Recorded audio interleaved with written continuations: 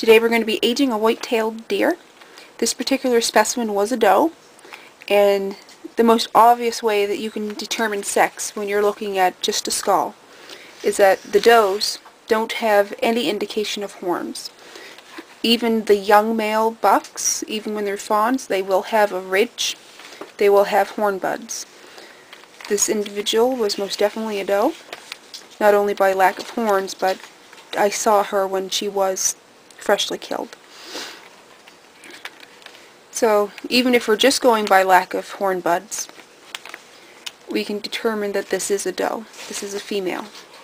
Now, one of the ways that we can determine age is if you just have the top skull fragment. Let's forget about the lower jaws. If all you have is this, one way you can determine age is look at the skull plates. You see that there are very wide, very deep gaps. You can see very high fracture here. Now this is natural. Her plates have not fused. She's still very young. Her nasal bones, there's a very wide gap here.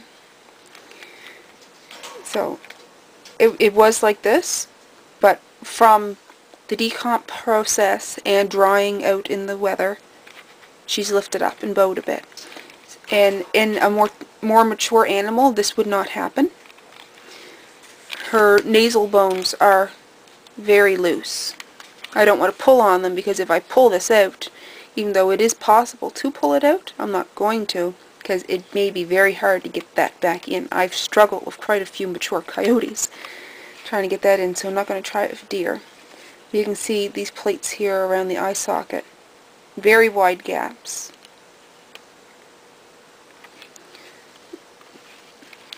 This is also very wobbly, very loose. It's not broken, it's just the plates are separating, separating out.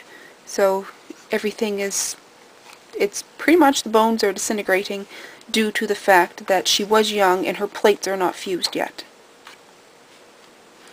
But determining age you look at the teeth. This is how DNR officers, wildlife rangers, this is how they determine the age of a deer. And you can see there's very little wear on her teeth. They're very sharp. So this was a very young animal. How young? She wasn't a fawn because she does have all of her teeth showing. But you can tell she was less than a year and a half and older than eight months by this tooth here. It's erupting, but it's not all the way there.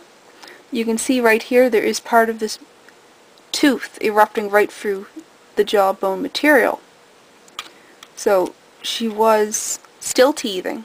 Her teeth were still coming out through. I estimate her, her age at about one year and that is because looking at the charts that are used, they they determine age in year and a half increments. They have fawn, one year and a half, two year and a half, three year and a half. Her tooth wear, her teeth coming down, is in between the fawn stage and the year and a half stage. Going by the lower jaws, it's the same thing. Tooth number six, it's erupted, but it is between the fawn and the year and a half stage. Now fawn stage, this tooth won't even be here. It'll be completely bone up to tooth five. There's a tooth missing here, by the way. So it's one, two, three, four, five, and then number six. Tooth number six, it's just a little less than half erupted. In the gum line, you'd see it about there. So it'd be even less than that when I threw the gums. So she was about a year old.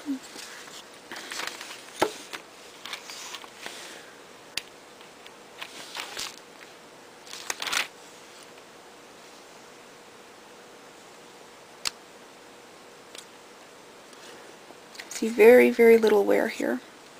And even once this tooth number six has erupted, you'll be able to determine the age of deer by the wear. Now I don't have the, there's no wear pattern on this. So we just have to imagine the points will go.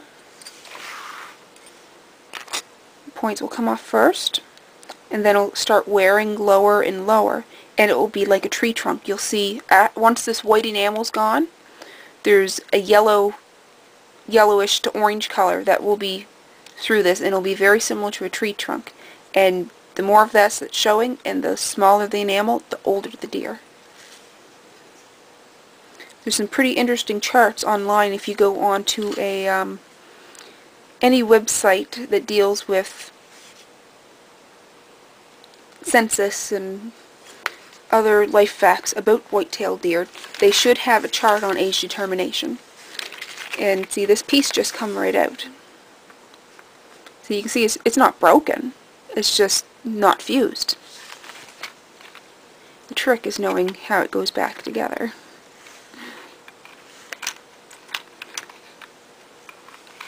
There's a little puzzle piece in there.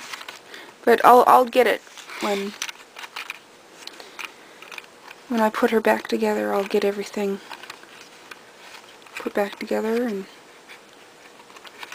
it's, it's, sometimes it can be a very hard jigsaw puzzle putting skulls back together. But it is worth it, especially when you do what I do and you make art with these pieces.